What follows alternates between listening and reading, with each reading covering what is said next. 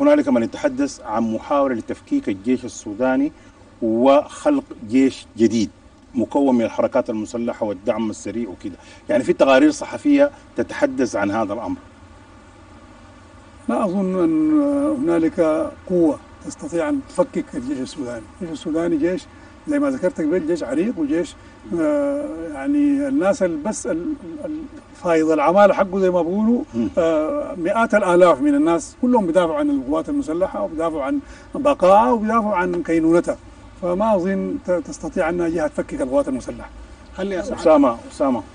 في بس يا ساعة الفريق أول يعني سرع الإيقاع. هناك حديث إنه يعني كأنما الدعم السريع مساعي من جانب الدعم السريع على علو كعبة على حساب بقية القوات النظامية. الأخرى البعض يتحدث يعني بصوت هامس أن ذلك سببه للعلاقة الشخصية بين بين سعادتك وبين نائب رئيس المجلس محمد حمدان حميدتي الأمر الآخر مقرونا بذلك هناك بعض الأحاديث يعني وردت في بعض الوكالات الخارجية بأن الدعم السريع تنوي شراء دبابات من من روسيا ما حقيقة ذلك.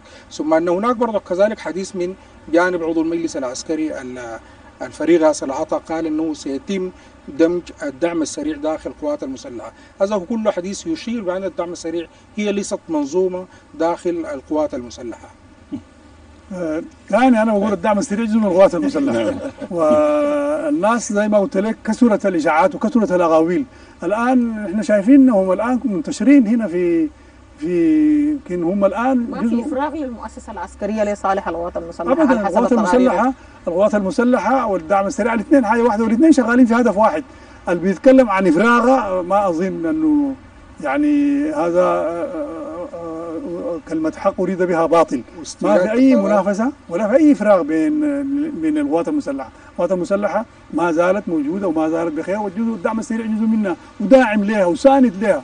وقطع الشك زي ما ذكرت لك نحن في النهاية حنصل كلنا مع بعض كقيادات إذا كان في الدعم السريع أو في بقية المكونات حقت القوات المسلحة القوات الجوية والقوات البحرية فأن نكون منظومة موحدة. هل في متغير